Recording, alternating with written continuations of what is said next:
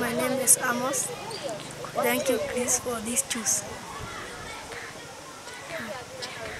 Very good.